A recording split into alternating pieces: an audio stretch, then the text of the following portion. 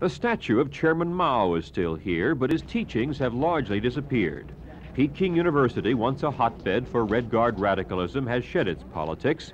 Its students are now concerned less with idealism, more with the basics of practical education. Is it, uh, which is better, to be realistic or to be uh, ide idealistic?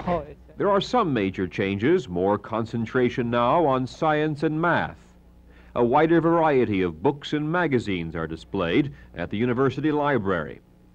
And English students are learning their language and their American history from Alastair Cooke, the film loaned to the university by the newly normalized U.S. mission in Peking.